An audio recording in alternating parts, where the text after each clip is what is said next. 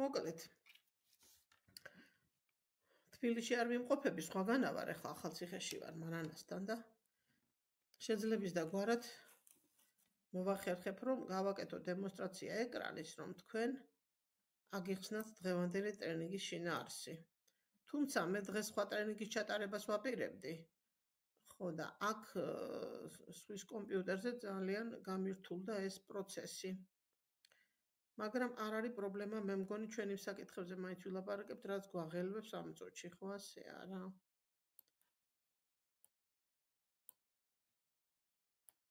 ერთი წუთით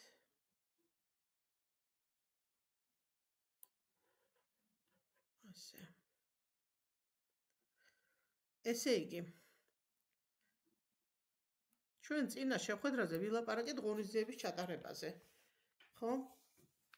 Ну პირველ რიგში ამ ღონისძიებას უძღვის წინ ის რომ ჩემი თხოვნა უნდა შესრულებულიყო იმ კუთხით რომ ცოდნოდა რამდენი ადამიანი ესწრება ამ ღონისძიებას. თუ მე ამ პასუხებს ბოლომდე ვერ მივიღებ რაც გთხოვეთ ხომ როგორ არის ეკრანი დაყენებული როგორ ხედავთ არ ვიცი მართალი გითხრათ ხო და თუ ვერ მივიღებ, მე ასე ვთქვათ, იძულებული ვიქნები, რომ მინიმუმ 100 ადამიანზე დარბაზი ვიქირაო და გავაკეთოთ ეს ღონისძიება ასეთი სახით, ხო? იმიტომ რომ 100 100 მაინც არის ასე ვთქვათ ასეთი ოპტიმალური ვარიანტი, მინიმუმია, მინიმუმი რაც ჩვენ შეგვიძლია რომ გავაკეთოთ, ხო? თითოეულ გავასწორო ეს. ხო, ну, პირველ რიგში რაოდენობა მაინტერესებდა. ეხლა მეორე, მე აქ ვერ გავხსენი პლატფორმა, სადაც აა იყო ლაპარაკი, რომ ინვესტიციების განყოფილებიდან, ესე იგი სერტიფიკატებიდან უნდა შევსულიყავით ყველანი და ამოგვებეჭდა ჩვენთვის დოკუმენტი, რომელსაც ქვია რეესტრის ამონაწერი. ამას რა თქმა უნდა, ყველა ტრენინგზე გავიმეორებთ 25-26-იც ამაზე კიდე გავიმეორებთ. რომ ყველა ადამიანს აქციონერს მივაწვდინოთ ხმა რომ ეს შეასრულოს თავის თავისთვის, ხო? რომ კონდეს ასე თქვა თავისი სერტიფიკატები. აა სერტიფიკატი კი არ არის საჭირო, ამონაწერია საჭირო. და ეს ამონაწერები ყველას როგორც დოკუმენტის სახით უნდა ჩაიწერო, შეინახოთ ასე ვთქვა, ხო? გნებავთ ჩაიწერეთ კიდევაც მონაცემები, გნებავთ ეს ფურცელი შეინახეთ მოკლედ, თავარი არის ამ მონაწილე ჩვენი რეესტრის რეგისტრაცია, ნომერაცია ჩვენი აქციების, რა ნომრით ვართ გატარებული რეესტრში. უпроსტორად ჩვენი აქციები რა ნომრით არის რეგისტრირებული, ხო? ну პირველ რიგში ეს დოკუმენტი ჩვენ უნდა ამობეჭდოთ და შევინახოთ. ეს პირველი რაც აუცილებელია. მეორე რაც ჩვენ გვინდა რომ გაგვეკეთებინათ ამაზე ვილაპარაკეთ, ეს არის 25-26-ისთვის დავპატიჟოთ ყველა ჩვენი აა სისტემის ადამიანი. ერთ მყავს, თქვა, დაპატეჟებული და ერთი აქციონერი მყავს ქსელში, ერთ ადამიანს ურეკავ, 100 მყავს, 100-ვეს ურეკავთ პირადი პასუხისგებლობით. თუ თქვენს გუნდში არის ლიდერები, რომლებიც პასუხისგებლიანები არიან, არ არის იგითი ლიდერები, ჩვენ ეს მაშინ ვილაპარაკეთ, მაგრამ ყველა შემოსვლაზე მე ამას გავიმეორებ, რომ ვინმეს არ გამორჩეს და არ დაავიწყდეს, ხო? ესე იგი, ლიდერი, რომელიც არის აქტიური, რომელიც მუშაობს ესმის ეს საკითხები, აი ამ ადამიანებს შეიძლება დავეყვნოთ. თუ თქვენ გუნდში ასეთები ყავთ, ის თავის გუნდის წევრებზე იზრუნებს. თუ არა და თქვენ უნდა იზრუნოთ ყველაზე. ეს მაშინაც გავაჟღერე და მე იმედი მაქვს ჩემი ლიდერთა საბჭოსი, იმიტომ რომ მე ამ ადამიანებს ვენდობი, რომ ჩემ ქსელში მინიმუმ 5-6 ადამიანი ამ საქმეს გააკეთებს. და მე ჩემ პირად ასე ვთქვათ, სისტემაზე, რომელიც თქვენთან არ შემოდის, იმ ჩემ პირად სისტემას პირადად დაურეკავ თითოეულს. თითოეულ ადამიანს უნდა გავაგებინოთ. ხო? ესეც იმიტომ, რომ ხვალდაზე ჩვენ გავიმარტივოთ შემდგომი ჩვენი თანამშრომლობა და ურთიერთობა მათთან. ხო? უპირველესი დავალება არის, რომ ფრანციშეკ სოლარის ჩამოსვლის პროცესში ეს ადამიანები დარბაში მოვიდნენ. რაც შეეხება ტექნიკურ ნაწილს, რომ ჩვენ უზრუნველყოთ ტექნიკურად უზრუნველყოთ ჩართვა ონლაინ ბევრი ადამიანის ის რომ მაგალითად სპიკერები მინდა ჩართო და ასე შემდეგ და უცხოეთში ვინც არიან ქართველები, ისინი მინდა ჩართო, ეს ერთი არის და თუ გავაკეთეთ უფრო მეტი ადგილი, ვნახოთ ამ გუნდს ჯერ ვერ დაველაპარაკეთ, ვერ მოვიცალეთ, ხო? შეიძლება გავაკეთოთ აი ესეთი პირდაპირ YouTube არხზე არ მინდა მე თვითონ. მე მინდა რომ ეს იყოს ჩვენი დახურული ღონისძიება. თუ იქნება YouTube არხზე და ნახოთ რეკომენდაციებსაც ავიღებ ფრანციშეკისგან რომ ვიცოდეთ რა უფრო ჯობია. YouTube არხზე რომ გავაკეთოთ ჩვენ აქცენტი დარბაში მოვა ცოტა ადამიანი, იმიტომ რომ იქ დააჭერს ყველა ხელს და რაზე წავიდე ახლა დარბაში, ბარემ პირდაპირ აქედან ჩავერთვები. სინამდვილეში ეს ოფლაინ ღონისძიება ემსახურება ამ ადამიანების ასე ვთქვათ გაცნობას და დაახლოებას კომპანიის პირველ პირთან, რაც ჩვენ ყველაზე მეტად გვაწყობს, გამიგეთ? რა არის დათო? რა ჩვენ ყველაზე მეტად გვაწყობს? იმიტომ გვაწყობს ყველაზე მეტად რომ ჩვენ დავიზღვევთ თავს ბევრი ზედმეტი შეკითხვებისგან და ონლაინ რეჟიმში, როდესაც YouTube არხზე შემოვლენ ბმულით, ისინი იქიდან კითხვას ისინი იქიდან კითხვას ვერ დასვავენ, არც დასვავენ, ძალიან უყურადღებოთაც მოусმენენ და ჩვენ რა მოგვიწევს ისიც, რომ ეს ყველაფერი ხელმეორე თვითოულ ადამიანს უმეოროთ. ესე იგი, ჩვენ ერთი რამე უნდა გავიგოთ, რომ ჩვენივე სასიკეთოთ რაც შეიძლება მეტი ადამიანი მოვიყვანოთ ამ ღონისძიებაზე. ხო? ჩვენ ავიღებთ ასკაციან დარბაზს, თუ ჩამოვალ თბილისში, როცა ჩამოვალ და ვნახავ რომ იქნება მეტი მოთხოვნა მეტრაოდენობაზე, გავაკეთებთ მეტრაოდენობაზე. თუ არა და მინიმუმ ასე იქნება. თუ ბევრი იქნება ხალხი, არაფერი უჭერთ. ხო, ძალიან კაი, მადლობა მანანა. ხო, ესე იგი, აი ეს მე მგონი ეს აზრი ყველამ კარგად გაიგო. და ასე გავაგრძელოთ 25-მდე, ხო, აქტიურად. ესე იგი, თებერვალში 25-26 რა ქვია, თებერვალს ჩავატარებთ ჩვენ ღონისძიებას, კომპანიამ თხოვს უკვე მისამართს. მე როგორც კი თბილისში ვიქნები, უკვე გავარკვევთ, სად ჩავატარებთ ამ ღონისძიებას, სად იქნება კონფერენცია და სად იქნება ჩვენი სემინარი, ხო? ფრანციშეკ სოლარი ჩამოფრინდება 24-ში და გაფრინდება 27-ში. ასე რომ ჩვენ ხელში იქნება მეგობრებო ორი ძირითადი დღე და კიდე დამატებითი საათები რომ შევძლოთ მასთან სერიოზული შეხვედრები გავაკეთოთ. მე ვიცი რომ ლიდერთა საბჭოში არიან ადამიანები რომლებსაც ჩანსაღი ამბიციები აქვს, ყავთ საზოგადოება და გარემოცვა ისეთი, რომ სწორედ ფრანციშეკ სოლართან შეხვედრა იქნებოდა მათთვის ასე ვთქვათ მისაღები და მიღებული. ამიტომ ეცადეთ ამ ადამიანებთან გასაუბრება, დაპატიჟება შეთანხმება, ისიც თქვენ რომ შეთანხმება ერთი თვითადრე რომ ხდება, მას უნდა შემდეგ გამეორებაც და წინა დღეს შეხსენებას და კიდე გადამოწმება, იმიტომ რომ ჩვენ დავსვათ ფრანციშეკი სადმე სასტუმროში და ვალოდინოთ რომ მოვა თუ არ მოვა ჩვენი სტუმარი, ამას ვერანაირად ვერ დაუშვებთ, ამიტომ წინას არის შეთანხმებით, სიებს გავაკეთებთ ვინ რომელ საათზე მოვა მასთან შეხვედრაზე. კარგი იქნება პირად შეხვედრებზე, ასე ვთქვათ, ჭალებში სერიოზული განწყობით ადამიანები მოვიყვანოთ, ვინც თქვენი აზრით იქნებიან სერიოზული ინვესტორები და რატომაც არა აი ამ ბოლო ეტაპისთვის მათთვისაც გავაკეთებ დიდ სიკეთეს და პლუს ასე ვთქვათ ჩვენ სარგებელს ვნახავთ, რატომაც არ უნდა გავაკეთოთ ეს, უნდა გავაკეთოთ. ბოლო ეტაპი არის პერიოდი, როდესაც უამრავი ადამიანი ფიქრობს ასე რომ პატარა იქნება ასე ვთქვათ, ლოდინის რეჟიმი, თუნდაც პატარა პროცენტით მოიგონ, მაინც თანხის მოგებაზე ფიქრობს ბევრი, ხო? ამ ბოლო ხანებში აა, გამოსახულება არ ჩანსო მეუბნება დავითი და რატო არა ჩანს, არ ვიცი, ხო? ну, რა ვქნათ ახლა, არ არის აუცილებელი დამინახოთ ხმარახანისმის. ხმარახანისმის არა უშავს. ჩართულია, მაგრამ რატო არა ჩანს, არ ვიცი, ხო? გამოსახულება ჩემი არ ჩანს თუ მე სლაიდების გამოსახულება არ ჩანს?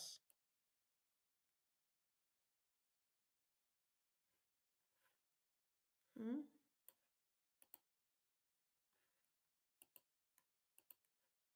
ეხლა ჩანს?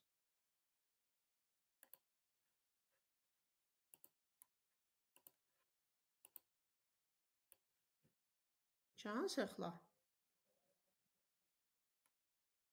აბა ნახეთ თუ ჩანს.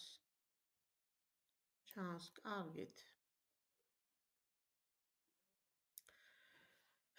მოკლედ დღეს მინდოდა პლატფორმაზე ეს პროცესი მეჩვენებინა, მაგრამ არ არის პრობლემა, ვფიქრობ, რომ ამისთვის ჩვენ ყოველთვის მოვიცლით. დღეს მოდით ვისაუბროთ იმ თემებზე, როდესაც აი ეს ტრენინგი სხვათა შორის, რომელიც ახლა არის ამ ფორმატში, ფრანციშეკ სოლარმა საკმაოდ ადრე მოგვაწოდა, რომ ჩვენი პარტნიორებისთვის გვესწავლებინა, როცა აქვთ ასეთი შეკითხვები, ქსელური კომპანია თუ არის სერიოზულობა, ესე იგი, როგორ ვთქვა, ეჭვი ეპარებათ კომპანიის სერიოზულობაზე, იმიტომ რომ ეს არის ქსელური მეთოდით გაყიდული აქციები, ხო? ეს კითხვები როგორც ცოტა ხნის წინ იდგა, ეხაც იდგება. მე რა რომ ბოლო ეტაპი მოდის, ხო? იმაზე აღარ ვლაპარაკობ ახლა რომ ფრანციშეკთან ისაუბრებენ და პირველი პირია და ასე შემდეგ. ძალიან ბევრმა ადამიანმა პანდემიის პერიოდში უამრავ კომპანიაში ჩადო ინვესტიციები. აი ნამდვილად სიტყვა უამრავი შესაძერისია. ეს იყო კრიპტოვალიუტის კომპანიები, ეს იყო კიდე რაღაც დამატებით ახალი კომპანიები და ამ ბოლო პერიოდში იმდენი ახალი კომპანია შემოდის საქართველოში, ან ასე უცებ საიდან გაჩნდნენ ეს კომპანიები და ასეთი რაოდენობით მოძალება ქსელური კომპანიებისა საქართველოს საზღვრებში არ ყოფილა, ხო? და მე იმიტომ ვარ ინფორმირებული, რომ თითქმის ყველა კომპანია დამიკავშირდა, ну თითქმის არ ვიცი ახლა იმის იქითაც იქნება ალბათ რა ვინც მე არ დამიკავშირდა, მაგრამ აი საოცარი თულა ვერ მოვასწარი იმდენი კომპანია შემოსული. და მიუხედავად ამისა, ეს კომპანიები საკმაოდ სტრატეგიულად ვითარდებიან. ვითარდებიან, რაც ნიშნავს, ბევრი ადამიანი შედის, აკეთებს ინვესტიციას, აქვს იმედი, რომ ის იქ მოიგებს თანხას, ამიტომაც მაინც შედიან, მაინც თუმცა თუმცა პროდუქცია შეიძლება იყოს ძალიან ნაცნობი, ხო, ეს ნაცნობი პროდუქცია ნიშნავს, რომ არის თქვა ბიოდანამატები, არის თქვა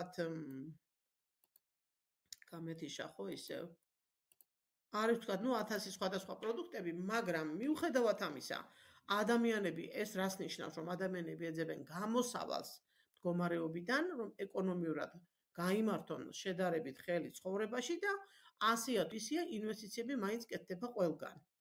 და რამდენადაც ეს არ არის საჭმელი პროდუქტი, არ არის ბიოდანამატი, არ არის რაღაცა პროდუქტი, რომელსაც მოიხმარ ან სახში სისუფთავისთვის, ან უბრალოდ ჯანმრთელობისთვის ასე შემდეგ და ასე ვთქვათ, ვირტუალური პროდუქტია ჩვენი პროდუქტი, ხო?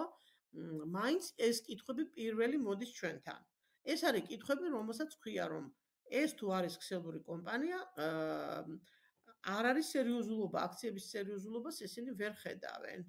როგორ დავაპატარო ეს ეკრანი? არ ვიცი, ერთი წუთით, აი. აი ესე გავაკეთოთ. მგონი ჩანს ხო ახლა? ხო, კი ბატონო.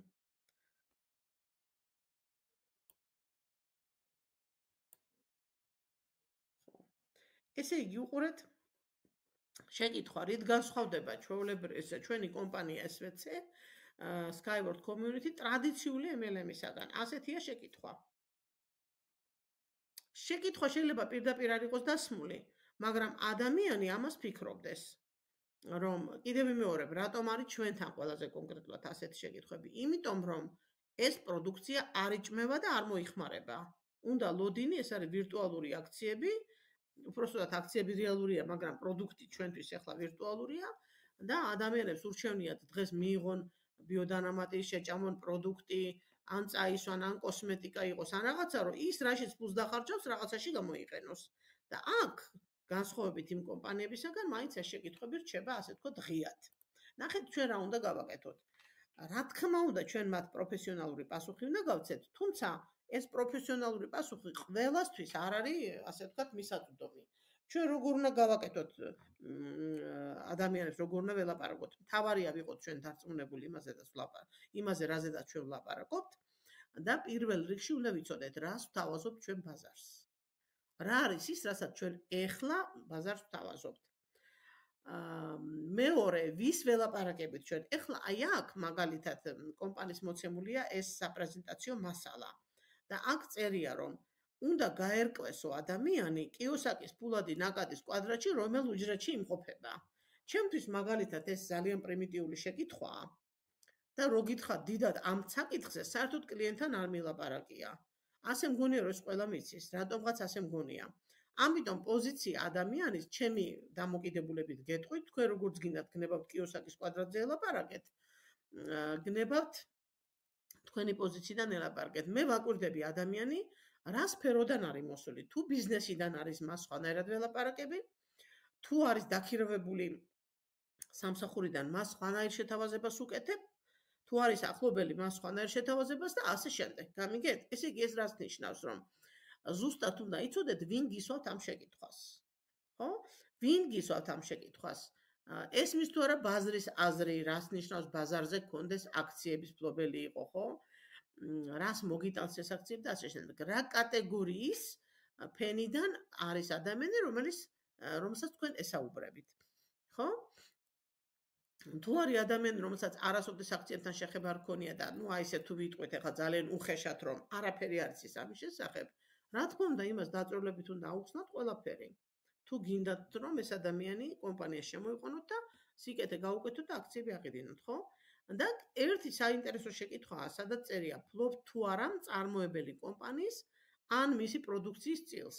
ეს რას ნიშნავს, რომ ქონია თუ არა ადამიანს ცხოვრებაში შემთხვევა, რომ რაღაცა კომპანიის თანამონაწილე იყო, წილი კონდეს ناقიდი, ხო?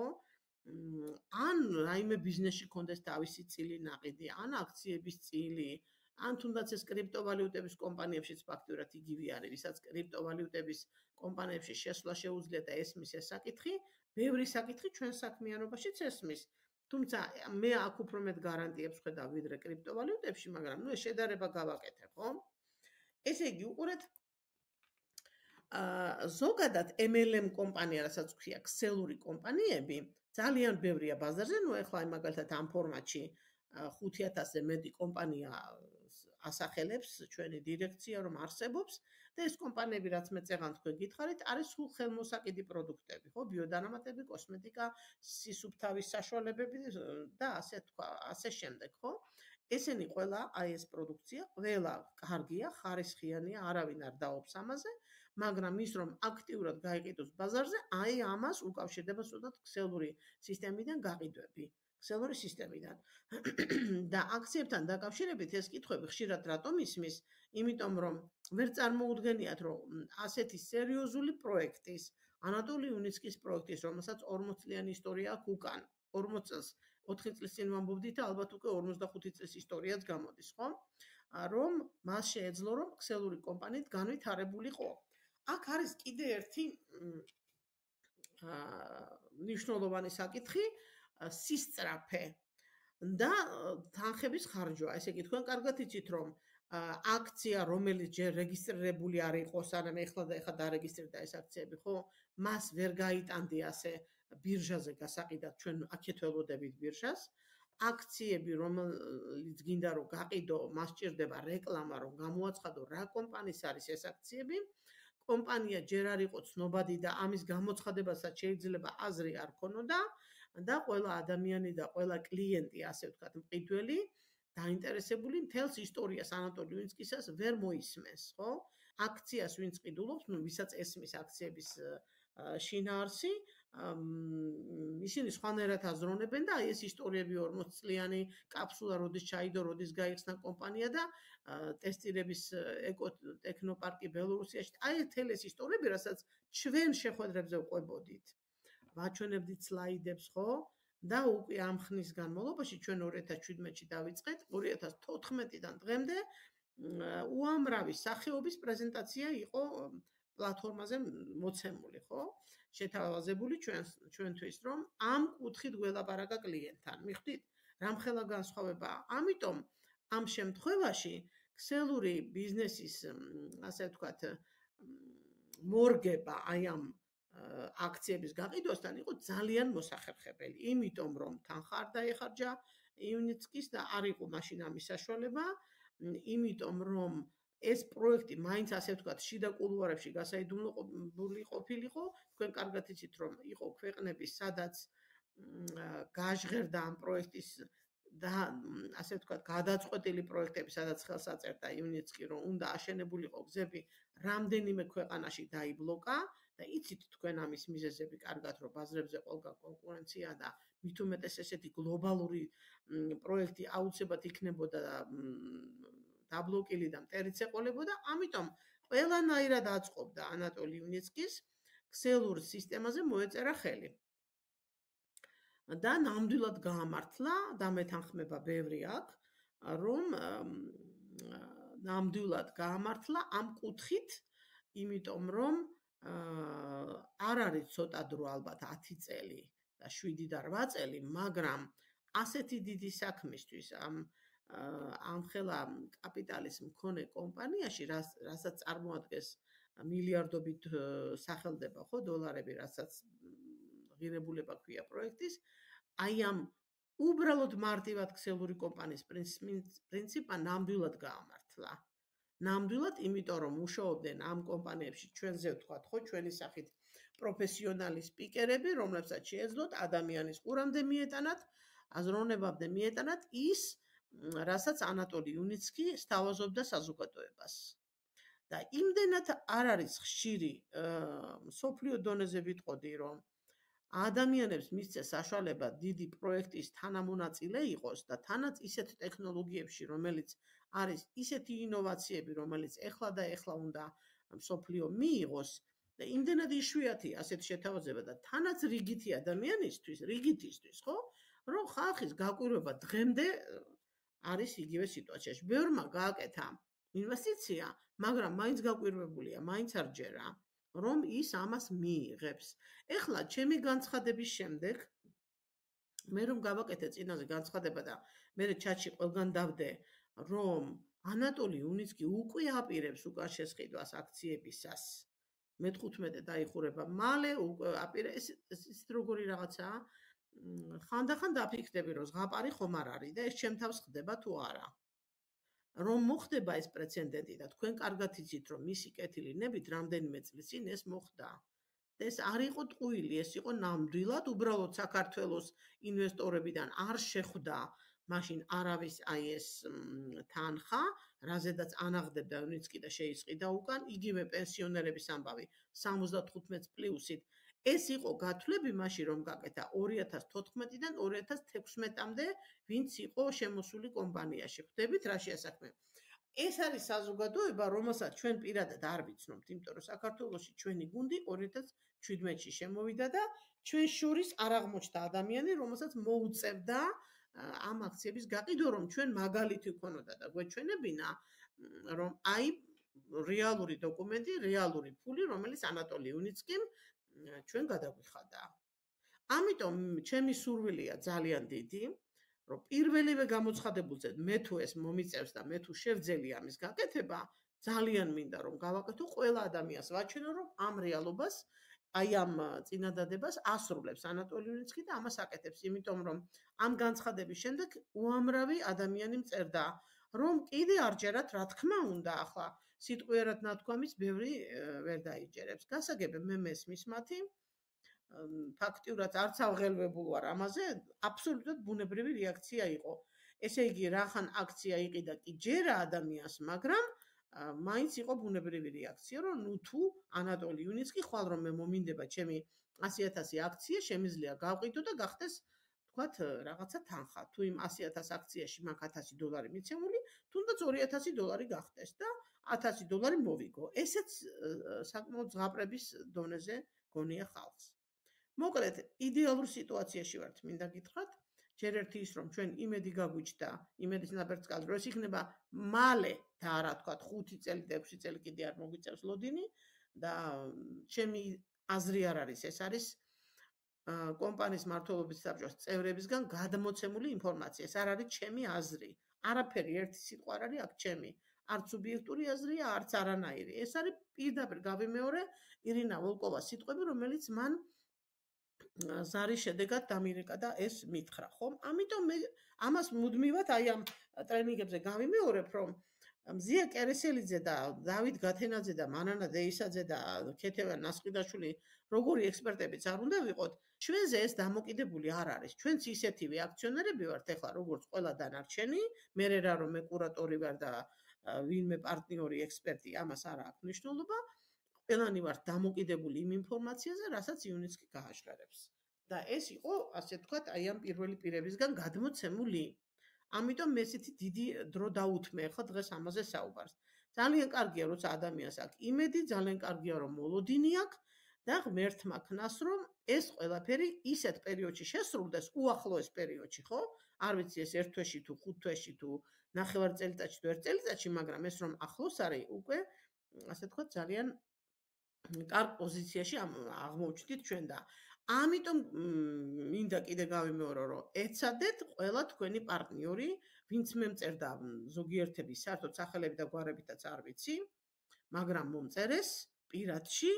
აა რა ვიცი ზოგმა ზედმეტიც მოვიდა ისე მომწერა, მაგრამ მე მესმის ამ ადამიანების აა ზოგი გაღიზიან და კიდევაც ის ერთი ორი ადამიანი რომელმაც მომწერა ესენი იყვნენ საერთოდ ახალი გაფორმებულები როგორც ეთყობა ძველებს კიდე ბევრს ვიცნობდი და მე მათი არც ახალი მესნა არც გვარი მაგრამ ჩვენ ვეცადოთ მე მათაც უთხარი რომ 25-ში მის ამარს ყველაფერს გამოვაქვეყნებთ და იყავით ადგილზე. და ახლა ფრანციშეკ სოლარის იქეთ ანატოლი უნიცკია.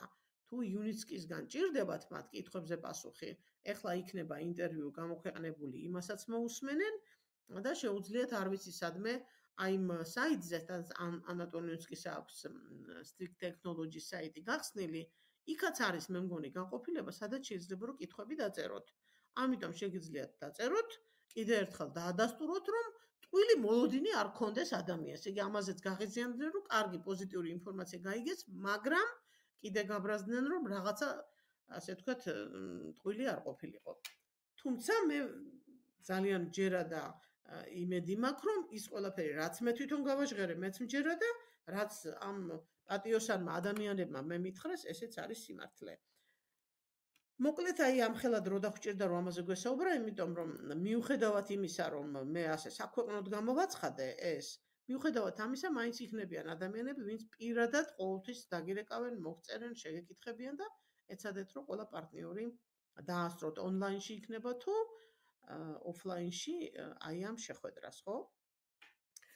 ამიტომაც დღეს მე კი მინდოდა სხვა თემა გამეკეთებინა, მაგრამ რაღაც ჩავთვალე რომ აი ამ ადამიანებისთვის აქ არიან თუ არა არ ვიცი, მაგრამ მე დავდებ ჩატში, იმათ ეს ჩემი ჩანაწერები ნახეს და ალბათ ამასაც უყურებენ, როგორ შეგვიძლია ჩვენ აუხსნათ ეს არის კიდე გავიმეორებ კომპანიის მოწოდებული სლაიდი კომპანიის მოწოდებული პრეზენტაცია თავიდან ბოლომდე. აი ეს ტრენინგი, ხო? და მე ვიმეორებ მათ ნათქვამს და მათ შექმნილ პრეზენტაციას, რომ პირველი რაც Skyward Community-ს პარტნიორს ექნება, ეს არის ტექნოლოგიების წილი, ეს ნიშნავს, რომ ინახავთ ფინანსებს და ზრდით ამ ფინანსებს. რა დროსაც არ უნდა გაგეკეთებინათ ინვესტიცია, ეს იყო 2014 წელი თუ 2023 წელი იქნება. აი გააკეთებთ ახლა თქვენ ინვესტიციებს ვისაც კი რა თქმა უნდა კიდევ გინდათ. ეს იქნება მაინც ასე იქნება ფინანსების შენახვა და გაზრდა. შეიძლება გაზრდა მოხდეს 6 თვით შეიძლება გაზრდა მოხდეს 5 წელი თქვენზე არის დამოკიდებული. ჩვენ ხომ ძალით არ გაგვაყიდინებს არავინ ამ აქციებს. ესე იგი ვიღაცა გაყიდის კომპანიას უკან მიხიდის და რაღაცა პროცენტზეც დათანხმდება ვიღაცა არ გაყიდის რაღაცა წელს დაიტოვებს ხომ მე მოგედეთ ასე ვაპირებ სიამოვნებით დაუბრუნებ კომპანიას და გავყიდი რომ სარგებელი ავიღო, მაგრამ აუცილებლად დავიტოვებ ისეთ აქციებს, რომელსაც შეიძლება წლების განმავლობაში არავინ ხელი არ მოკიდოს. მე ძალიან მაინტერესებს ის დივიდენდები, რომელიც მექნება მომავალში.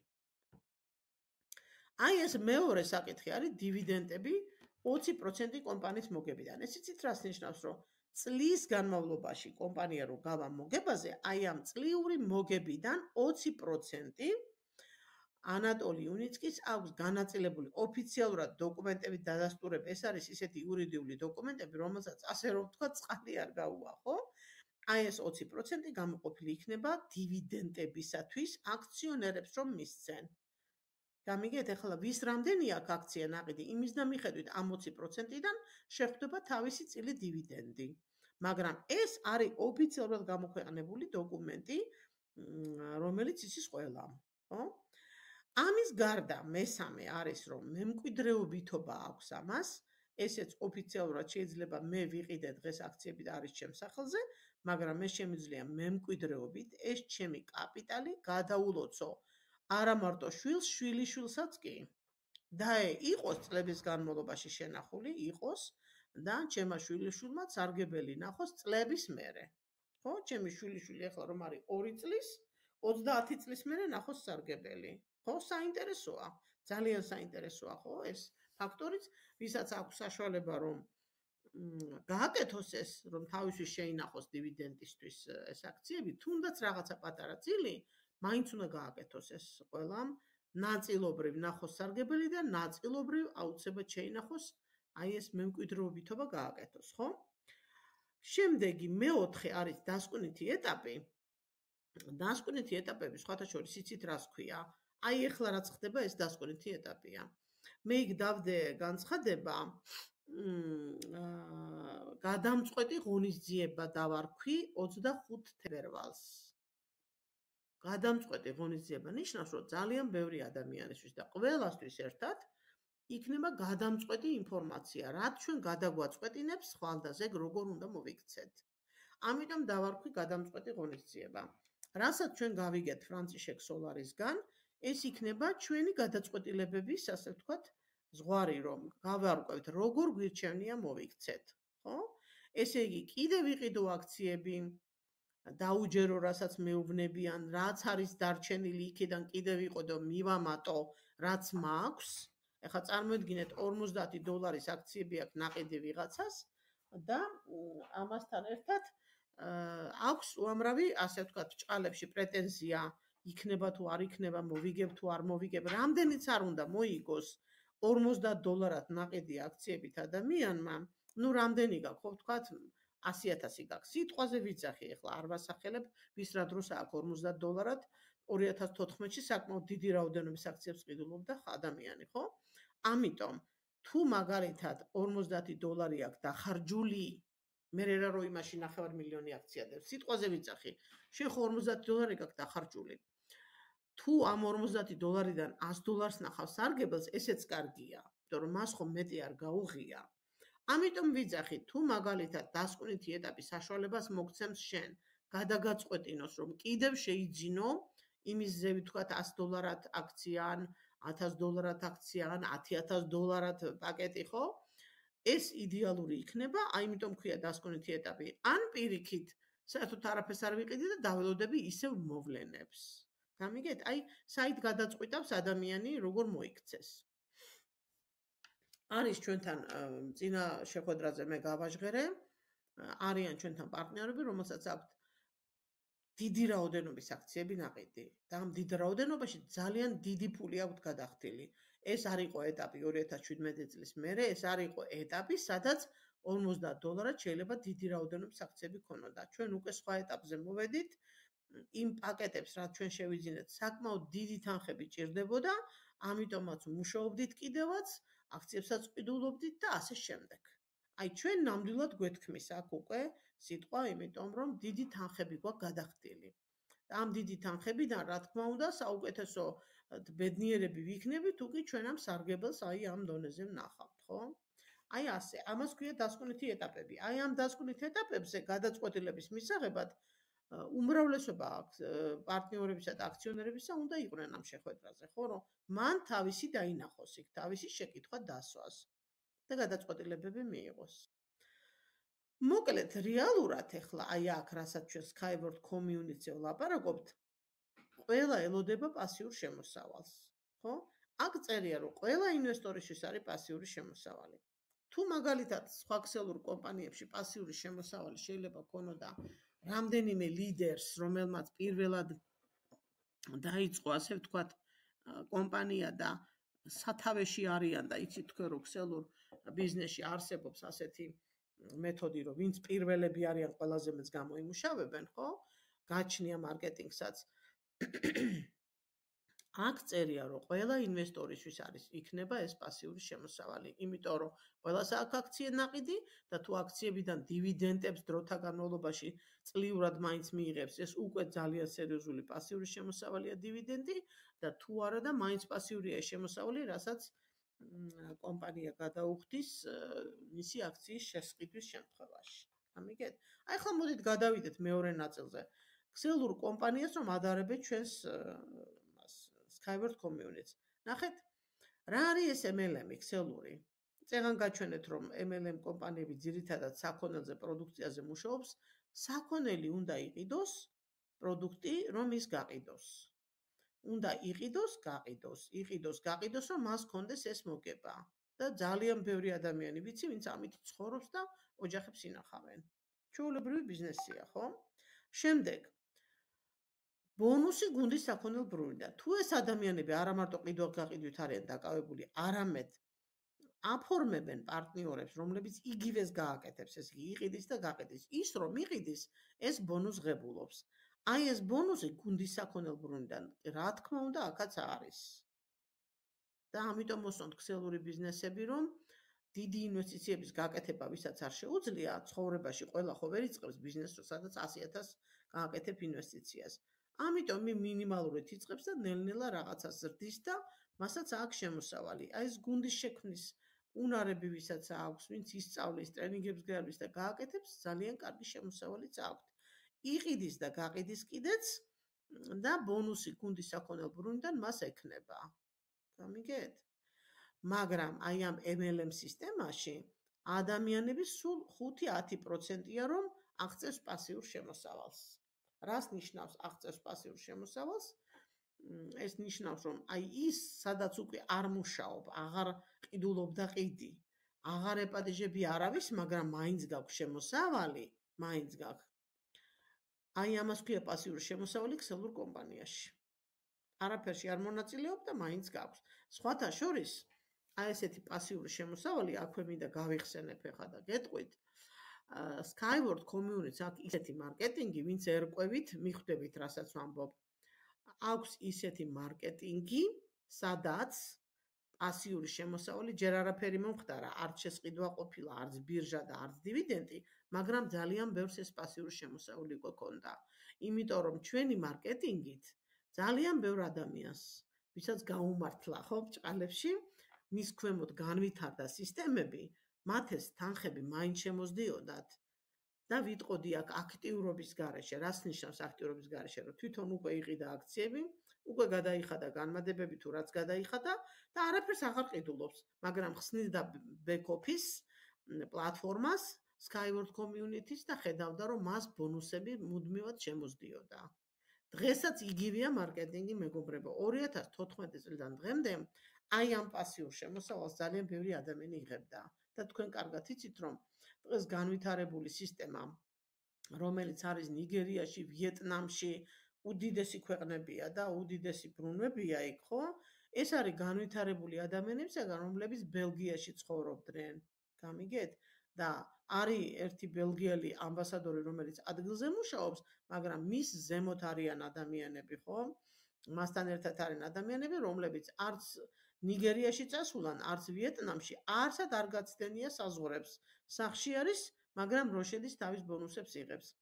საქართველოსზე ვილაპარაკოთ, ხო? ნიგერიას და ბელგიას თავი დავანებოთ. საქართველოში სათითაოდ შემიძლია დავასახელო ადამიანები, რომლებსაც საერთოდ არანაირი მონაწილეობა არ აქვთ არაფერში მიღებული, მაგრამ პასიურ შემოსავალს დღესაც იღებენ.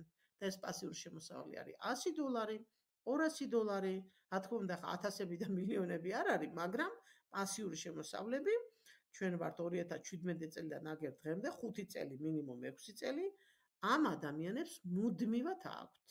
იმიტომ რომ მათ ქვემოთ სისტემები განვითარდა ევროპაში განვითარდა, თუნდაც საქართველოში, რუსეთში, თურქეთში და მათ ეს პასიური შემოსავალი აქვთ. თუმცა ჩვენ ამ შემოსავლებისთვის მე პირადად და კიდე ყველა ბევრი ადამიანი ჩემს გარშემო ლიდერთა საბჭოში ვინც არიან, ამიტომაც არიან იქ. შრომის შედეგად ვიღებდით ამ ბონუსებს და ჩვენ ეს ნამდვილად დამსახურებულად ავიღეთ. მაგრამ არიან ადამიანები, ვისაც პასიური შემოსავალი ნამდვილად აქვთ. მიხარია რომ ასეა. მიხარია რომ არის ამის პრეცედენტი რომ კომპანია მას იხდის უანგაროდ და წლების განმავლობაში იხდის. მოდით ახლა გავაკეთოთ დასკვნა. შეიძლება თუ არა რომ დღეს ჩვენ დავიჯეროთ ამ კომპანიის ახალი ადამიანი თუ დაგისვათ კითხვას ეს ყველაფერი უთხარით თქვენ. მე რატომ თითოეულ საკითხზე დიდხანს ვჩერდები? რომ კარგად დაიმახსოვროთ რა უნდა უპასუხოთ ადამიანს, ვინც ასეთ შეკითხვას დაგისვათ. გამიგეთ რატო ვჩერდები?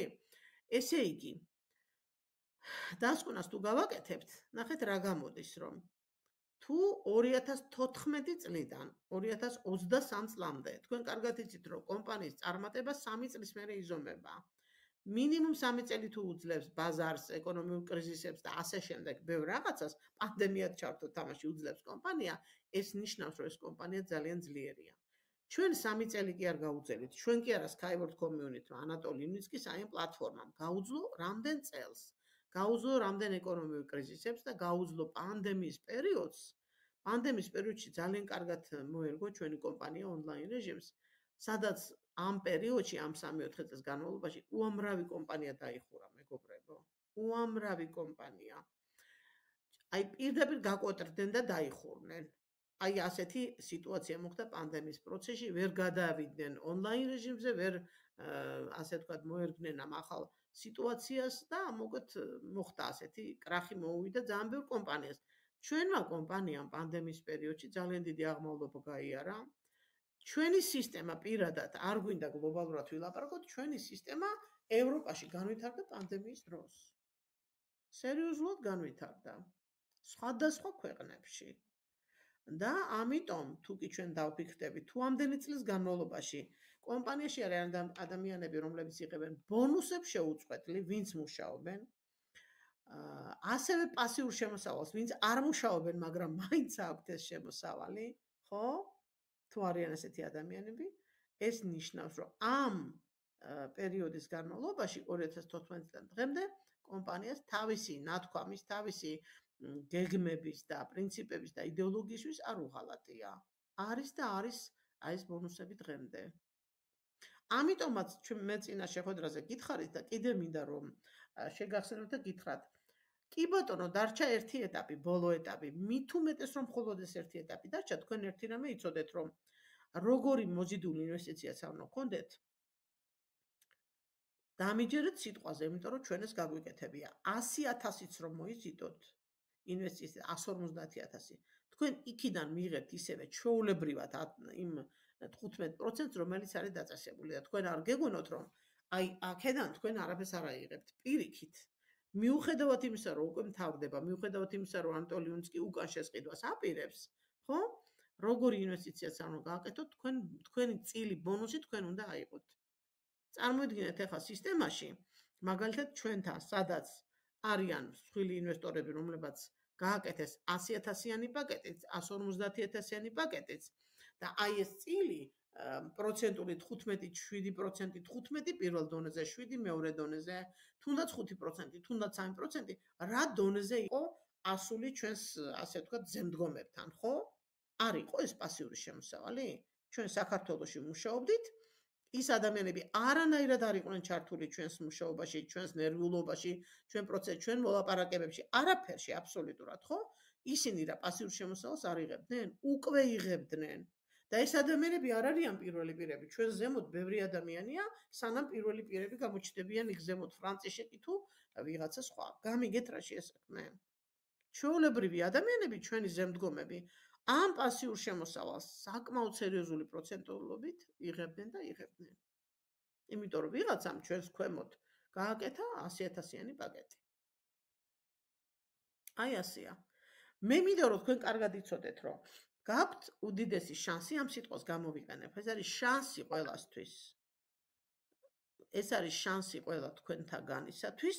კიდევ ერთხელ გამოიმუშაოთ კარგი შემოსავალი, იმიტომ რომ თქვენ გაქვთ ამის უნარი, რომ მოზიდული ინვესტიციები გააკეთოთ, მოიზიდოთ ეს ინვესტიციები, ადამიანებს ელაპარაკოთ, ხო? ადამიანებს ელაპარაკოთ და აუხსნათ ყველაფერი დეტალებში, თუ კიდე რაღაცა ვთქვათ, ეჭვი გეპარებათ რაღაცა შეგიძლია ჩვენ დაგვაკავშიროთ, მაგრამ აი მე იმდენად დეტალებში მინდა გაგაგებინოთ, რომ თქვენ უდიდესი ასე ვთქვათ, მოგება გეჭირავთ ხელში, რომ თქვენ ამ კომპანიაში ხართ უკვე, გაქვთ უკვე نقيდი აქციები და აი ეს დეტალები შეგიძლიათ სხვასაც აუხსნათ, რომ ამ ხნის განმავლობაში, ხო, თქვენ ამას აკეთებთ, ბონუსებსაც იღებთ და უფრო მეტი შეგიძლიათ მოასწროთ. მე 15 ეტაპზე ადამიანი არ იყიდის 100 დოლარად აქციას, იყიდის უფრო მეტს. იმიტომ რომ ბოლო ეტაპია და იმიტომ რომ უკვე გამოცხადებულია რომ ანატოლინსკი შეისყიდის თავის აქციებს და ის ადამიანი რეალურად შეხვდება ამ პროცესებს და ამ პროცესების მომენტში ის არ იყიდის პატარა რაოდენობას. ამიტომ ელაპარაკეთ თქვენს ახლობლებს, ელაპარაკეთ იმ ადამიანებს, ვიზედაც თქვენ გაქვთ ასე ვთქვათ, რა ვიცი, სურვილი და გათვლები, რომ ეს ადამიანი იყიდეს. ელაპარაკეთ. დრო არ დაკარგოთ ნებისმიერზე ახლა გამლელზე და გამომლელზე, იმიტომ რომ თქვენ კარგად იცით, აი თავიდან მე ვისაუბრე, ვის უნდა ველაპარაკოთ ჩვენ, როგორ უნდა მივხვდეთ რა კატეგორიის ადამიანს უნდა შევთავაზოთ დღეს ეს აქციები. ბოლო ეტაპი ეთავაზება საკმაოდ სერიოზულ კატეგორიას. მოძებნეთ თქვენს გარემოცვაში ეს კატეგორია და შეთავაზეთ.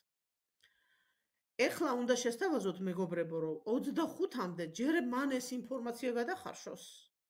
თქვენთან დასვა შეკითხები, თქვენი პასუხები მიიღოს და მომზადებული იყოს ფიზიკურათაც და მორალურათაც, მორალურათაც, რომ 25-ში მოვიდეს ჩვენთან დარბაზში, სადაც ვიქნებით და 26-ში ფრანცისკ სოლართან გააკეთოს შეხვედრა. გაიგეთ? აი მე წინაზეც ვთქვი, რომ ეს ეტაპები თვითოულ ადამიანს ჭირდება. როგორი ბოდიშით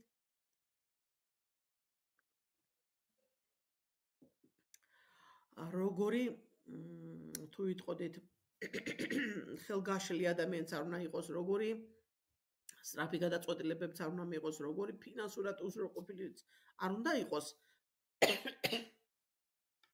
მაინც ექნება შეკითხები და მაინც ჭირდება დრო ამ ინფორმაციის დასამუშავებლად. თქვენ არ გეგონოთ რომ ფრანცისკეთა რომ მოისმეს პირველად რომ მე-15 ეტაპია და არიქა ჩქარა მოასალეთ იყიდეთ რომ მოიგოთ წავა და უცებ გააკეთებს. არა მეგობრებო. ფრანცისკის შეხვედრა უნდა იყოს მისთვის წერტილის დასმა მაგრამ მანამდე აუცილებლად უნდა იყოს ეს ადამიანი მზად. უმზადებული უნდა ქონდეს ინფორმაცია თავის ტვინში რომ გადაწყვეტილება 25-ში და 26-ში მიიღოს. მე მგონი გამიგეთ რაზედაც საუბრობ, ხო ესეა. ეხლა რო გითხრათ რომ კიდე ბევრი მინდა რაც აქ არის საუბარი ამაზე გელაპარაკო, თუ გინდათ ვილაპარაკოთ. აი ეხლა მაგალითად ის რომ ჩვენი კომპანია სატრანსპორტო პრობლემების გადაწყვეტაზე მუშაობს, უკვე ვიცით. სოციალური გარანტიები ნიშნავს, რომ აქ ადამიანი რომ მოვა ამ კომპანიაში და გაფორმდება და რეგისტრირდება, სოციალური გარანტიები მას ექნება ამ კომპანიას ამის შესაძლებლობები აქვს. ახალი სტილი ცხოვრების პირობების შეცვლა, რა თქმა უნდა, შეეცვლება პირობები, თუნდაც იქიდან გამომდინარე, რომ ასეთი სიახლეების და ინოვაციების კომპანიაში და პლატფორმაზე განვითარება მუდმივად მიმდინარეობს. ყველაფერს რო თავი დავანებოთ, ადამიანს, ვისაც სწორედ იმათვისაც შეიძლება საშუალება არ კონდეთ, რომ განვითარებაში ჩადონ ფული და თქვენ კარგად იცით ტრენინგები რაღაც დღეს, აი ამ პლატფორმაზე განვითარებას ნამდვილად გააკეთებს, წინსვლას გააკეთებს, კარიერას გააკეთებს და ასე შემდეგ. მე მაშინ გამოვაცხადე და თქვენ შეგიძლიათ ეს იგივე გაიმეოროთ. გარდა ანატოლი უნიცკის აქციებისა, რომელზედაც ახლა ყველაზე დიდი აქცენტი გვაქვს ჩვენ, ამ პლატფორმაზე იქნება სატრენინგო კურსები კომპანიისგან, რომელიც იძლევა სერტიფიკატს, რომელიც იძლევა ცოდნას, ძალიან დიდი ორგანიზაცია შეიქმნა სათაუში სუხადოევის, ასე ვთქვათ, ხელმძღვანელობით რუსულ საიტზე, რუსულ გვერდზე უკვე დაიტესტა ეს პროგრამები, მე ველაპარაკე რუსეთის ლიდერებს და მითხრეს, რომ ეს ტესტირება მიდიოდა დეკემბერში, იანვარში. საქართველოს არ იყო აქ ჩართული, მოგხსენებათ რატომ არ იყო ჩართული? თვითონვე არ შემოგთავაზეს, იმიტომ რომ ამ პოლიტიკური მდგომარეობის და უკრაინის ომის გამო არ შემოგთავაზეს, არ შეგვიყვანეს რუსეთთან ამ ტრენინგებზე და ჩემგანაც იყო ეს პროტესტი და აღარ შემოგთავაზეს, თუმცა ჩვენთვისაც იქნება ეს ყველაფერი ტესტირების რეჟიმში იჯდა რუსეთის აუდიტორია, აქციონერები იჯდნენ აი ამ ტრენინგებზე. ძალიან ბევრი კმაყოფილი პარტნიორი ვიცი, მათგან მე მოვიცმინე, რომ მათ მოეწონათ ეს სასწავლო პროგრამები. ეს ყველაფერი ამ პლატფორმაზე გეთავაზებათ. არ ვიცი, რამდენად იქნება უფასო, მაგრამ ვიცი, რომ უფასოც არის და ფასიანიც იქნება. ამიტომ ალბათ უფასო იქნება იმათვის, ვინც ეხლავე ჩაერთობა ამ პროცესში და ფასიანი იქნება ალბათ უცხოებისთვის. არ ვიცი. ყოველ შემთხვევაში ამ პლატფორმაზე აქაც, როცა ადამიანს შეესთავაზებთ ხვალდაზე მე ვიზახი ახლების მოზიდვაზე, ხო? რახან ცოტა გვაქვს დრო დარჩენილი, კიდე შეიძლება რომ თანხები გამოიმუშაოთ. ახალი ინვესტიციების მოზიდვის და ადამიანების მოყვანის შემთხვევაში ეს კიდევ ერთ-ერთი დიდი არგუმენტი გაქვთ, რომ აი ეს პრობლემები სატრანსპორტო ხო გვარდება, სოციალური გარანტიები ხომ აქვს, ახალი სტილის ცხოვრებას ხომ გადავა, აი ეს და ნოოსფერული განვითარება, იცით რას ქვია, რომ სადაც ასეთი ტექნოლოგიებია, ჯერ ტექნოლოგიებში გაერკვევიან ძალიან კარგად და პლუს აი ეს განვითარების ტრენინგები ექნებათ მათ. შეთავაზების კუთხით საკმაოდ ბევრია შესათავაზებელი, ხო? და გამზადებული ბიზნესი. მზა ბიზნესი, მეგობრებო, აი ხო რომ ავიღოთ ტრადიციული ბიზნესი, მე არ ამქონდა არასდროს ტრადიციული ბიზნესი და ეხლა გავაკეთეთ ოჯახმა. თუნდაც მინიმუმ პლატფორმის შექმნაზე არ ალაპარაკი, უბრალოდ საიტი და სოციალური ქსელების გვერდი რო გააკეთო, უზარმაზარი თანხებია საჭირო. და თუ ადამიანი აქ ისარგებლეს Skyward Community-ის პლატფორმას, თავისი ბიზნესისათვის გამოიყენებს, კარგი გაგებით გამოიყენებს, ხო? თავისთვის გამოიყენებს, ჩათვალეთ, რომ გამზადებულ ბიზნეს ჩუქნით ადამიანს. გამზადებულ ბიზნეს იმ ინვესტიციებით, რა ინვესტიციასაც თვითონ გააკეთებს. ეს არის მისი გადასაწყვეტი. გამიგეთ? რამდენი არგუმენტი გაქვთ, რომ თქვენ ადამიანს უთხრათ? თვალეთ. შემდეგზე გადავიდეთ, ხო? Ну ეხლა ეს არ გვინდა, ესე იგი უყურეთ. ეს განვითარებაზე ვილაპარაკეთ, ტრანსპორტზე და მასზე ვილაპარაკეთ. ეხლა ნახეთ რა არის კიდევ რა აღელვებს. ეხლა კიდე სხვა კატეგორიის ადამიანები, რომლებსაც აღელვებს ზოგადად გლობალური თემები, მაგალითად ჩვენი თაობა, რომელიც გააკეთებს აი ამ შეუძლებას, თაობამ, რომელმაც უნდა გადაარჩინოს პლანეტა. იცით, ადამიანების ფსიქიკაზე ძალიან მოქმედებს კარგად მოქმედებს და გავლენას ახდენს აი ესეთი თემები. იმიტომ რომ რაც არ უნდა იყოს, ყველა სააქ ოჯახი, ყველა ყავს შვილი, ყველა ხედავს ეკოლოგიურ გარემოს გარეთ რა ხდება, ყველა ეჯახება ამ პრობლემებს, ხო? ყველა, ყველა ეჯახება ჯანმრთელობის პრობლემებს. სადღაცას გამოსავალი ნამდვილად არის და ეს გამოსავალი არის აი ესეთი პროექტები, რომელშიც ადამიანებს მონაწილეობის შანსიც არ აქვს. პროექტი, რომელიც მაგალითად თუ გაგიგიათ ესეთი პროექტი მაგალითად ასეთი სახელწოდებით. საქართველოში მტკვრის აუზის გასუფთავების პროგრამა თუ გაგიგიათ? მტკვრის აუზის გასუფთავება რაღაც ასე ერქვა. ეხლა არსებობს ეს პროექტი. ეს პროექტი ამერიკელების პროექტია. წარმოგიდგენიათ ესე იგი ასეთი პროექტი ამერიკელმა როგორ უნდა მოიფიქროს და მოიგონოს რომ საქართველოში გაასუფთავოს მტკვრის აუზი და ამასთან დაკავშირებით კონფერენციებს ატარებს, ხარჯავს ძალიან დიდ ფულს. თუ თქვენ ხედავთ სადმე რომ მტკვრის აუზი სუფთავდება, არ ვიცი. მე მაგალითად ერთხელ არ მინახია რომ იქ რამე კეთდებოდეს, მაგრამ ეს პროექტები არსებობს. ეს რაც ნიშნავს, იცით რომ ასეთი გლობალური თემებისათვის საზოგადოებები მზად არიან მიიღონ მონაწილეობა. მათ ფსიქოლოგიურად ეს ჭირდებათ. ნებისმიერ ადამიანს ჭირდება, ეს ნიშნავს რომ შენ წვლილი შეგაქვს აი ამ გლობალურ საკითხში, რომ შენს მომავალ თაობას გაუმჯობესო ცხოვრება. ესე იგი, აქ ამბობს ჩვენი კომპანია, რომ თუ ჩვენი თაობა არ გააკეთებს შეუძლებას, ნამდვილად შეუძლებელია, რომ მთელი პლანეტა გადაარჩინო. აი ხა შენ პიროვნებამ ერთმა როგორ უნდა გადაარჩინო პლანეტა. ესე შენ სადღაცას უნდა მონაწილეობდი ასეთ პროექტში, რომ მშვიდად იყო, რომ შენ ამას აკეთებ, ხო? ჩვენ გველოდება წარმოუდგენელი რამ. ნამდვილად გველოდება ცუდი წარმოუდგენელი რამ, იმიტომ რომ პლანეტის გადაჩენა მარტივი არ არის. აქ არის საჭირო მთელი მსოფლიოს ხალხების გაერთიანება. თუმცა ამ ხალხებში არ იქნება ყველა რიგითი, აქ უნდა იყვნენ ადამიანები, რომლებიც თავიანთი მიდგომით, განათლებით, წოდნით გააკეთებს ისეთ რაღაცებს, რაც გადაარჩენს ამ პლანეტას. ისე როგორც კვრის აუზის გასუფთავება ამერიკელმა მოიფიქრა, ხო? ისევე როგორც ასევე ჩვენ შეგვიძლია მივიღოთ მონაწილეობა პროექტში, სადაც ჩვენ ჩვენ სარგებელსაც ვნახავთ და რეალურად ამ ტრანსპორტის გინდა ცვლილება დავარქვათ, გინდას დამატებითი ტრანსპორტი, ამ ტრანსპორტის ასე ვთქვათ, დანერგვა მთელ პლანეტაზე იქნება რეალურად გადარჩენა. და მე მგონი ამაში ყველა დამეთანხმებით, რომ ეს არის რეალური გადარჩენა პლანეტის. ხო?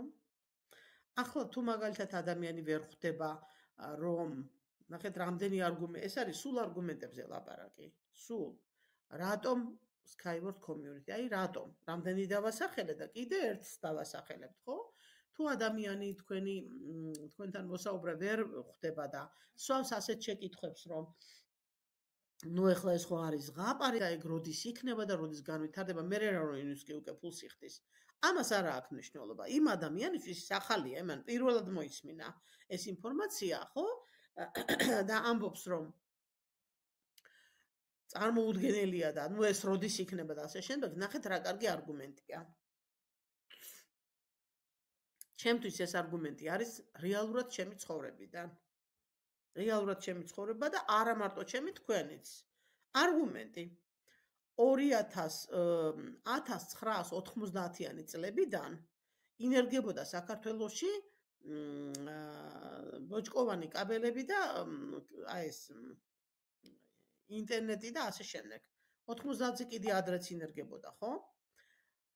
ესე იგი, წარმოიდგინეთ 90 წელში მუშაობ კავშირგაბმულობის სისტემაში, ჩემზე გეტყვით ხო მაგალითს? აქ რაც ხატია, ეს მეც მე მე მეხება პირდაპირ. და ეს არ არის ჩემი მოგონილი ეს დაწერეს ისეთმა ადამიანებმა რომლებმაც ევროპაში გაიარეს ეს გზები ეს იყო ყველა ქვეყანაში ყველა ქალაქში როგორ გადავიდა ამ ტელეფონიდან მობილურზე ადამიანი და ასეთი მანქანიდან თანამედროვე მანქანაზე 90-იან წლებში სამსახურში დადიხარ ხარ დიპლომიანი ასე ვთქვათ აკრედიტირებული კავშირგაბმულობის ტექნიკური მუშაკი სამი წელი გავდივარ დეკრეტში, ბრუნდები და მხვდება სხვა სიტუაცია. შემდეგ კიდე გავდივარ სამი წელი დეკრეტში, ბრუნდები და მხვდება არაფერი. რაც ნიშნავს არაფერი? მე რომ ვისწავლე სპეციალობა, მე რომ ვიმუშავე რაღაცა შტატზე თანამდებობაზე, ვთქვათ, და მე რომ ვეხებოდი ტექნიკურ მხარეს კავშირგაბმულობაში, ATS-ი იყო ეს თუ რაც იყო, კაბელებს თუ ტელეფონებს, გავდივარ და ეს არაფერი არ მხვდება. იქ სადაც მე ვმუშაობ. შევდივარ ჩემს ოთახში სადაც დავბრუნდი დეკრეტის შემდეგ და მე არ ვიცი რა უნდა ვაკეთო, იმიტომ რომ მე მობილურ კავშირებთან არაფერი შეხება არ მქონია არც სწავლის პროცესში და არც მუშაობის პროცესში და დეკრეტულში მithumetes. ესე იგი, ჩემ ცხოვრებაში ახალგაზრდა ვიყავი, ხო? 28 წლიდან სადღაც 33 წლამდე. აი ამ 5-6 წელიწადში იმდენად შეიცვალა მთელი ქვეყანა და მთელი კავშირგაბმულობის სისტემა, რომ მიწის ქვეშ რაც იდო, ასე ვთქვათ, აი ეს კაბელები ერქვა ხო მაშინ. ისიც კი ამოიღეს მიწის ქვეშიდან და ზემოდან რაც იყო, ისიც კი შეიცვალა. ყველაფერი შეიცვალა, დაიდგა ანზები და დაიწყო მობილური სისტემები. და ეს ყველაფერი მოხდა ისე სწრაფად, რომ ვერც გავიგეთ, როგორ სწრაფად მოხდა. და იყო პერიოდი, რომ აი ამ ტელეფონზე, ამ ტელეფონზე, როცა ჩვენ ლაპარაკობდით, ჩვენ უკვე ვიცოდით, რომ ასეთი რამ არსებობდა უცხოეთში, ხო? მე თვითონ თავი განათლებული მეკონა, ხო? აი ამ ყურმილს ავიღებდი და ვფიქრობდი, აქ სად უნდა დავინახო ადამიანი? აი აქ სად უნდა დავინახო, როგორ მეუბნეოდე, რომ როგორ ტელევიზორში დაინახავ ადამიანს. აი აქ როგორ უნდა დავინახო მეთქი? და ეს არა მარტო მე მჭირდა, ეს იყო ეს ქონდა ყოველას. ხო? ყოველას ქონდა და ვიჯექით კაბინეტებში მუშაობდით, ტექნიკური პერსონალი ვიყავი. და როცა გველაპარაკებოდნენ ჩამოსული უცხოელები ამ ამ საკითხებზე გველაპარაკებოდნენ, იქ ვიჯექი და კიდევ ვერ წარმომედგინა, რომ აქ მოხდებოდა ასეთი დიდი ცვლილება. და ეს მოხდა სულ რამდენიმე წელიწადში, მეგობრებო. დღეს ვინმე წარმოგიდგენიათ მობილურის garaშე ცხოვრება? ასე იქნება ანატოლი უნისკის პროექტი, უბრალოდ განსხვავება ის არის, რომ ტელეფონის ყიდვას ყველა შეძლებს, მაგრამ იმ ტრანსპორტის აშენებას თითოეული ადამიანი ვერ შეძლებს. იქ სხვა თანხებზია ლაპარაკი. ამიტომ იმას დაჭirdება შედარებით მეტი დრო, ვიდრე მობილური შეძენა დაჭirdა თითოეულ ადამიანს თითოეულ მოქალაქეს და დღეს ოჯახში რამდენი სულიც არის ახალ დაბადებულსაც მე მგონი მობილურს ჩუქნიან. მიხვდით? აი წარმოიდგინეთ ახლა თქვენ ძალიან მარტივად შეგიძლიათ აი ეს მაგალითი, პატარა მაგალითი, თუ კი ადამიანს ეჩვენება რომ ანატოლინსკის მეორე დონის ტრანსპორტი არის ზღაპარი, ჯერ კიდე ეჩვენება, ხო?